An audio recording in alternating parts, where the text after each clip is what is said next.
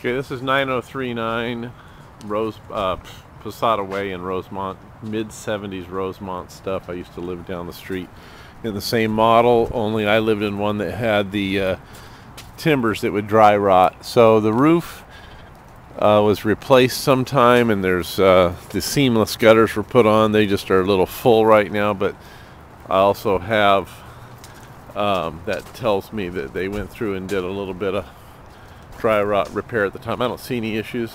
Um, in the front yard, I would take this iron out.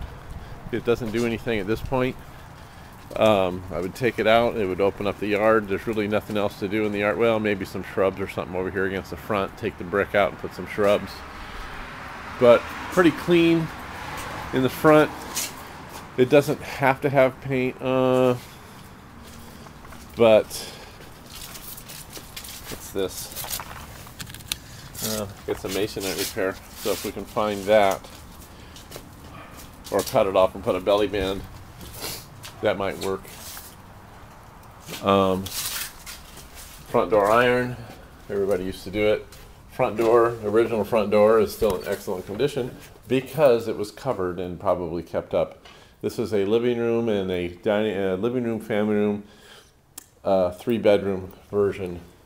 I think mine had this wall opened up from here to here across the nook.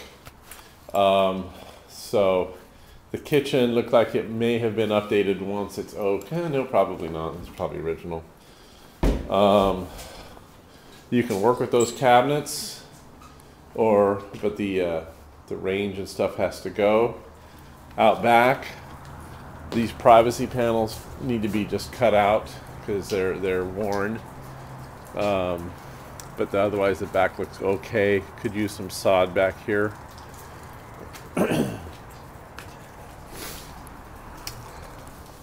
this floor is vinyl. Fireplace is okay. Laundry's in the garage. Entry needs to be replaced. All this carpet needs to be replaced. Windows are old. Closet doors are old. There's three pairs of those.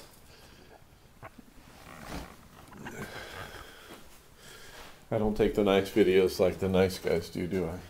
Um, these enclosures, I don't think they can be cleaned. It's a one piece, five foot fiberglass acrylic enclosure. Probably needs to be replaced.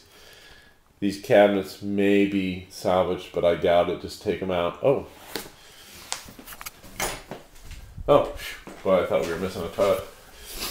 So everything in this one, here's the master. Oop, shiny brass. This vanity, you know, update this stuff. And here's the shower room. Just needs, you know, new enclosure. It's just, they're grimy. They get, they get stained.